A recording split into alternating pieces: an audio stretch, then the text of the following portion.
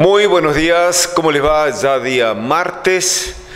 Vamos a, seguir con, bueno, con nuestra cobertura de todo lo que fue este fin de semana súper largo. Ayer ya habíamos hecho un, noticiero informal más corto, pero también informando justamente de lo que fue este espectacular fin de semana largo, el mejor de los últimos años en cuanto a afluencia turística en toda la provincia de Córdoba. Fue muy buena. Desde aquí que, bueno, en la cumbre y en toda esta nuestra zona, eh, en la cumbre fue el 100% de ocupación turística por este evento multitudinario que se pudo desarrollar nuevamente después de más de un año y medio, ¿no? El desafío Río Pintos. Lo hemos estado comentando todo este tiempo y otra vez el agradecimiento a la gente que elige la cumbre para venir a, a hacer su competencia y también así a alojarse para disfrutar de nuestras sierras de Córdoba. Hoy, como les digo, tenemos un poquito más de, de todo lo que fue este mega evento deportivo que convocó a 4.000 ciclistas finalmente largaron, pero toda la otra gente que vino acompañando cada uno de los, de los participantes, fue una fiesta, una fiesta de ciclismo, así que tendremos material para ir eh, justamente emitiendo durante todos estos programas. En el día de hoy vamos a comenzar con este acto que fue realizado en la Plaza 25 de Mayo, con el Día de la Diversidad Cultural, Estamos hablando de la cumbre y en esta oportunidad las palabras alusivas de la directora de la Escuela Nuestra Señora de Lourdes. Señor Intendente, autoridades, colegas, público en general. El 12 de octubre es la fecha en donde muchos años se celebró la llegada de los conquistadores europeos al continente americano. Esta mirada de la historia se ha ido transformando y permite asignar otros sentidos para el recuerdo de lo ocurrido. Se trata de comprender que es un día de conmemoración y recuerdo en el que es necesario promover la reflexión histórica y el diálogo intercultural acerca de los derechos de los pueblos aborígenes. El 12 de octubre de 1492, Cristóbal Colón estaba al frente de una expedición enviada por la corona española, la cual desembarcó en las Antillas, iniciando así un largo proceso de colonización en el actual territorio americano. Para recordar este hecho, en Latinoamérica se decretó el 12 de octubre como Día de la Raza, porque ese era el nombre que recibía en España la celebración por el descubrimiento del Nuevo Mundo y el contacto con sociedades, culturas, religiones que hasta ese momento eran desconocidas para ellos. Ocurre que en la segunda mitad del siglo XX el concepto de raza comienza a ser cuestionado y discutido internacionalmente, ya que no es pertinente referirse de este modo a las personas sujetos de derechos. En 1964 la UNESCO aprobó un documento sobre los aspectos biológicos de la cuestión racial como forma de combatir argumentos racistas. Entre esos lineamientos se acuerda que, como regla general, los grandes grupos étnicos, por vastos territorios que engloben pueblos diversos, por su lengua, su economía y su cultura, que ningún grupo racial, nacional, religioso, geográfico, lingüístico o cultural va a constituir una raza. El concepto de raza engloba únicamente factores biológicos. Todos los humanos pertenecemos a la misma especie, por lo que no es pertinente la utilización del concepto de raza. Recién en el año 2010 se modificó el nombre de Día de la Raza por el Día del Respeto a la Diversidad Cultural, otorgando a la conmemoración del 12 de octubre un significado acorde al valor establecido en la Constitución Nacional para la diversidad étnica y cultural. Desde entonces se trata de un día para reflexionar, reflexionar sobre la diversidad cultural, especialmente de los pueblos indígenas que habitan nuestro territorio y sus luchas por preservar sus culturas y sus lenguas. Ojalá podamos poner una cuota de respeto y de dignidad en estos momentos críticos para demostrar que existe una América de la cual podamos estar orgullosos como lo estuvieron aquellos que la habitaron hace más de 500 años. Y para finalizar, vamos a citar las palabras del Papa Francisco que hace alusión a esta fecha. Él dice que cada uno de nosotros está llamado a ser artesano de la paz, uniendo y no dividiendo, extinguiendo el odio y no conservándolo, abriendo las sendas del diálogo y no levantando muros. Dialogar, encontrarnos para instaurar en el mundo la cultura del diálogo, la cultura del encuentro. Porque a pesar de la diversidad de etnias, sociedades y culturas, hoy estamos todos llamados a formar una comunidad compuesta de hermanos que se acojan mutuamente. Muchas gracias.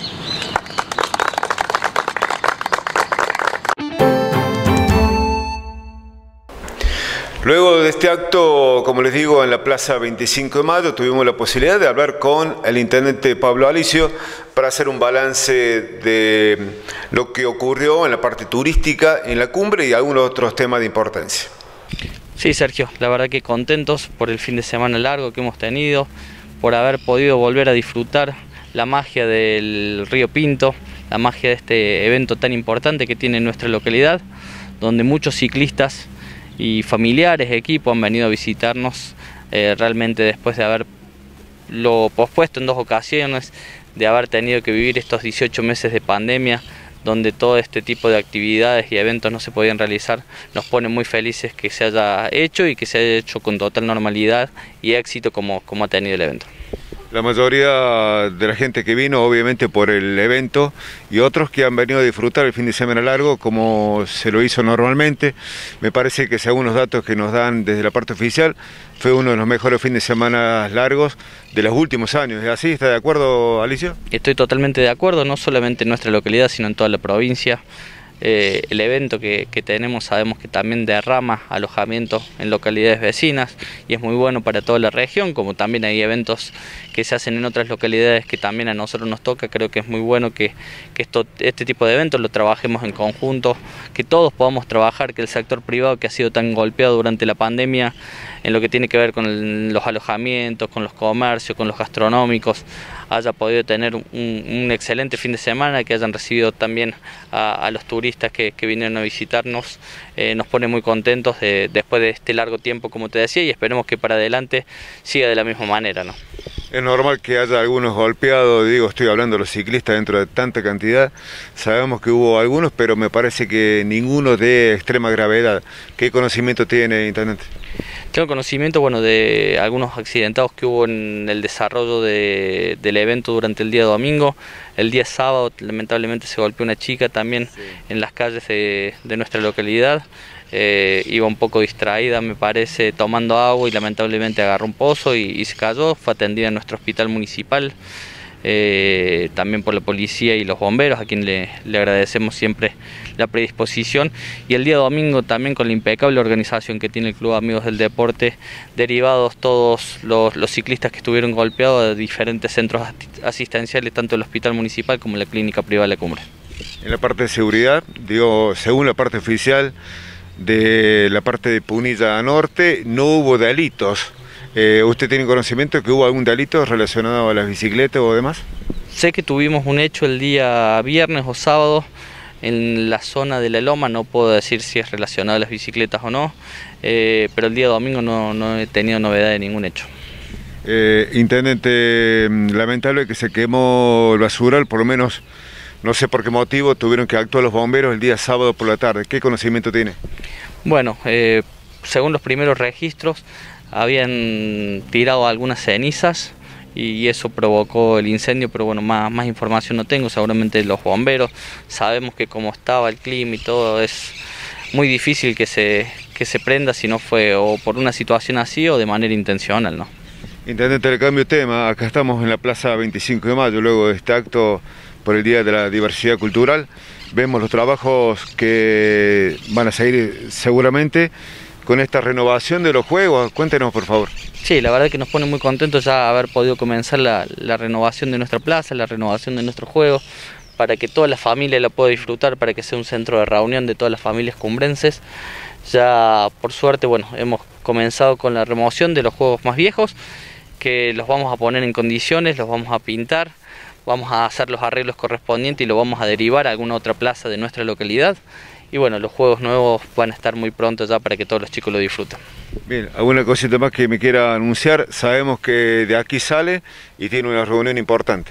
Sí, tenemos una reunión con la gente de trenes argentinos eh, para bueno, seguir marcando la agenda de cómo va a continuar este trabajo que vienen realizando ya para destapar las vías, para poner todo en condiciones para que Dios mediante, eh, seguramente a principios del año que viene, estemos disfrutando la vuelta del tren a nuestra localidad, que la gestionamos, que la trabajamos junto al presidente de Trenes Argentinos, Martín Marinucci, junto al gerente general de operaciones Marcelo Sánchez, con quien estoy eh, tremendamente agradecido porque siempre está a disposición. Cuando la semana pasada le pedimos que nos aguantaran una semanita más eh, porque bueno, teníamos este importante evento del desafío y nosotros usamos parte de lo que es el predio, ya seguramente para el año que viene vamos a tener que reorganizarnos un poco, pero bueno, siempre han tenido la, la mejor predisposición, ya van a comenzar desde hoy, seguramente van a continuar eh, el trabajo que vienen realizando. Y bueno, esperemos que los cumbrenses podamos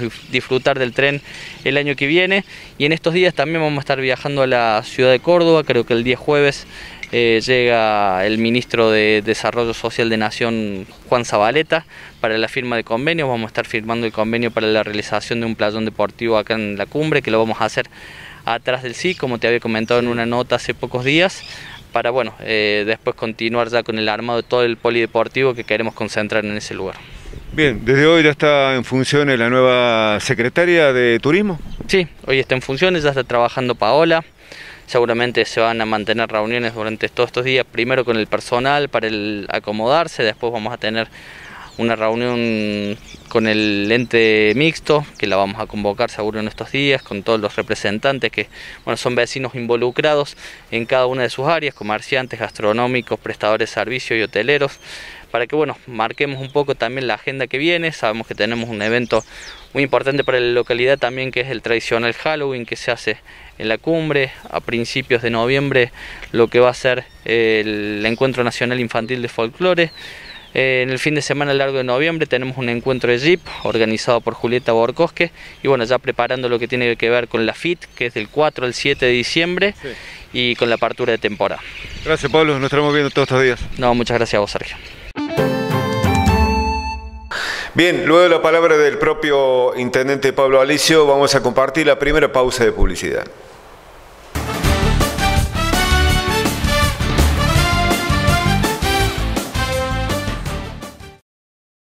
Por la época de sequías y la imprudencia de unos pocos, los cordobeses estamos en situación de incendios extremos. Toma conciencia urgente. No quemes basura y restos de poda. No tires colillas de cigarrillos o fósforos encendidos en el campo, bosques o zonas arboladas.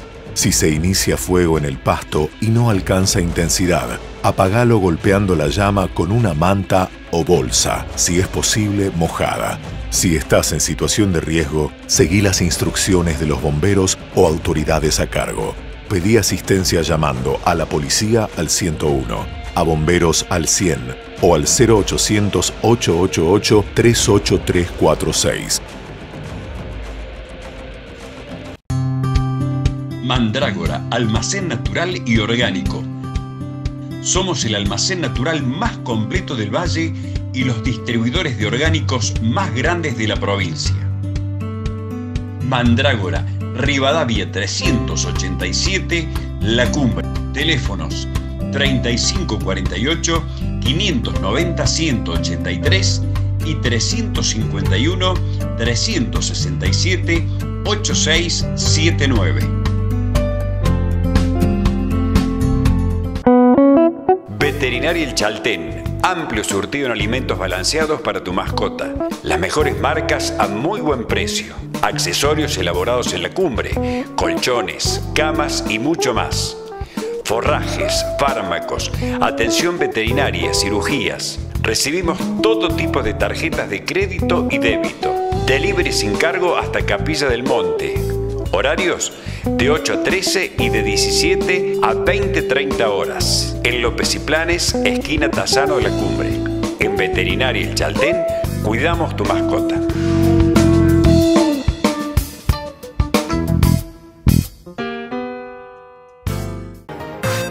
Llega la primavera. ¿Qué esperás para ponerte en forma? En Electrónica Caposo encontrarás bicicletas fijas, spinning, bicicletas Recumber, cintas para caminar y trotar, caminadores elípticos, plataformas vibratorias, amplio surtido en bicicletas mountain bike, rodado 26 y rodado 29. Y como siempre, los mejores precios en artículos del hogar, mueblería y colchonería.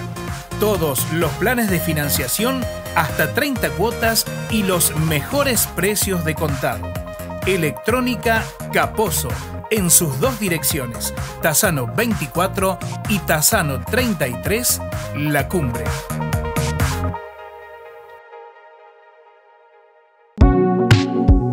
Para el Día de la Madre, los regalos están en la Cumbre Sport.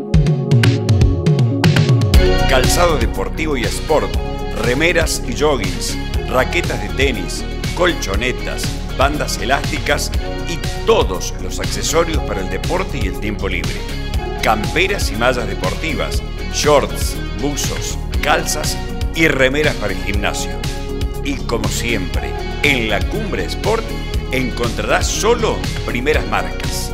Adidas, New Balance, Nike, Fila, Pony, Kappa, Reebok, Topper, Montagne, Skechers. Trabajamos con todas las tarjetas en tres cuotas sin interés.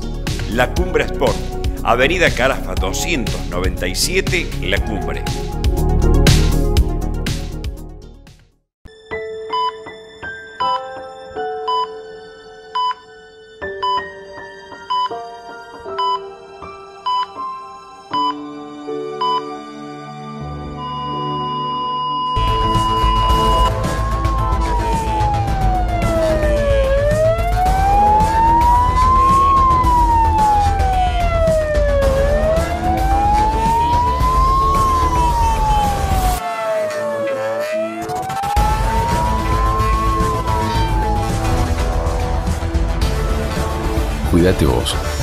A ellos. SAN, desde 1987, salvando vidas. Este fin de Carlos Paseamos, contemplar la ciudad desde las alturas del Cerro de la Cruz, absorber la energía del sol caminando por la Costa Negra, divertirse a lo grande en un sinfín de paseos y entretenimientos para toda la familia. Eso es Carlos Pasear, disfrutar los fines de semana de la ciudad más linda del país. Invita Municipalidad de Villa Carlos Paz y Captur.